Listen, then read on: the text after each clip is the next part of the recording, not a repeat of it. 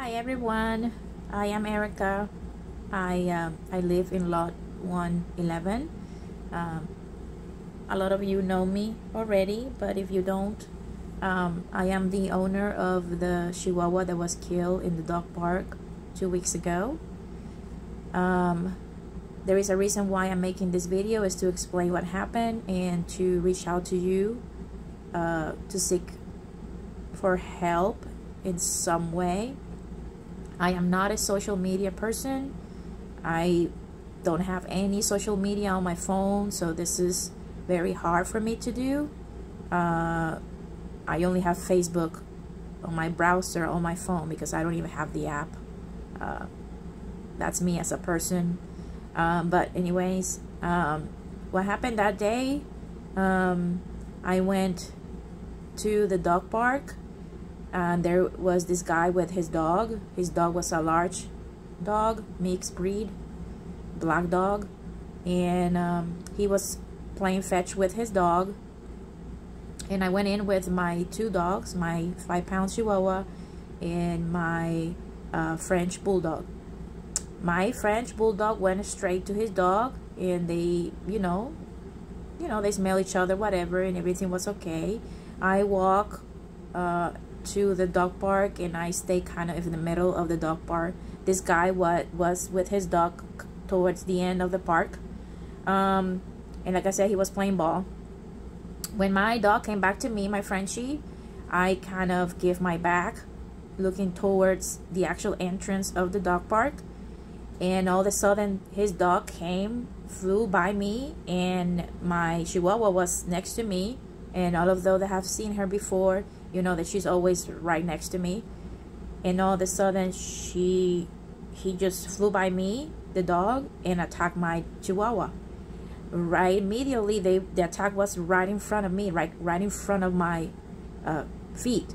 So i grabbed the dog from his collar and i pull him back off of my dog and my chihuahua she just ran away towards the entrance of the dog park.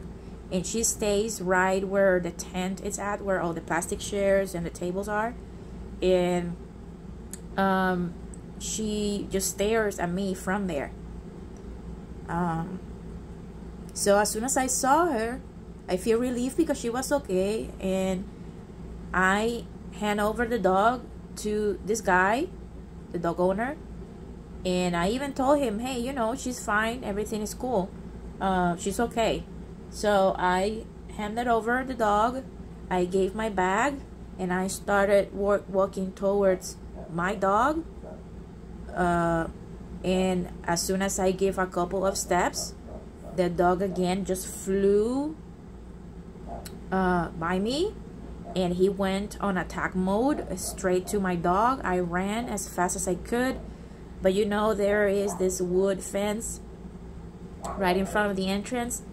So I ran towards that that way not thinking that the fence was there. So I have to go down the hill and up the stairs and he was on attack mode and he grabbed my dog and the dog killed my dog I think instantly.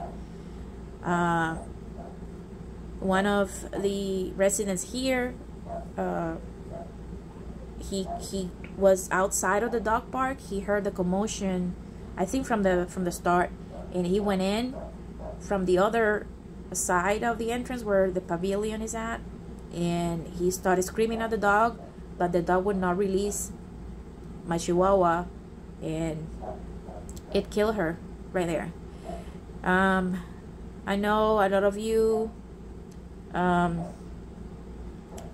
have your uh, thoughts about certain breeds. Uh, my Chihuahua, she was always there every day with other dogs, large or small, and she will be okay with any other dog. Um, she was my ESA, and we miss her so much. I just got a call from my from their vet saying that their ash, her ashes arrived this morning. Uh, I've been struggling a lot um, emotionally And what makes me upset and concerned is that this guy is still walking around his dog around the community. I'm concerned about other dogs, especially small ones. And um, um, I'm just asking and praying for others to be careful with their dogs um, in the dog park, especially with this dog. Uh, nothing has been done towards this guy or his dog. He's still, like I said, walking around his dog in the community. Um, I have reached out animal control. They are investigating, but basically they told me my case is not a priority and my um, my uh, you know the, the investigation is still ongoing and basically they need it has to be another attack or another incident uh, recorded towards this dog and dog owner for they to actually do something. Um, so I'm, I'm gonna ask you to please if you are afraid of this dog or whatever the case might be you should reach out to animal control so they can file a complaint because they said nobody else has done it um, what happened to me can happen to any of you in this community, especially if you have small dogs. Um, me and my husband, we appreciate everyone that has come to us in any way um, to comfort us, even though we are new in this community. Um, and those that have praying for us, those that were there for me when I was hysterical, trying to save my baby. Um, uh, I just wanted to reach out to say thank you to everyone, to give you the, the story, how it actually happened. Uh, and to please be careful with your dogs, to reach out animal control, and uh, and thank you again.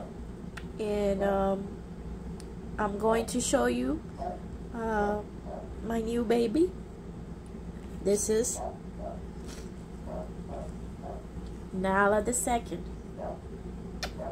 Okay, she doesn't replace my Nala, but she will be my emotional dog. Actually, she is a service dog. Um, she's not an ESA. She's a service certified dog. Um, she's always with me. She just came home yesterday, but she hasn't left my side. So, um, and not she's not going to be in the dog park, but you are more than welcome to stop by our lot 111 and say hi to her. Um, she's very sweet, and she's not afraid of anybody or anyone. Um, so this is her. This is Nala the second. so again everyone thank you very much for your support. And i again i just wanted you to reach out. Uh, and um, if you have any questions you can message me. I have i do have messenger. Uh, but thank you again from the bottom of my heart. And again also thank you from my family from my husband too because she, he's been struggling as well. But thank you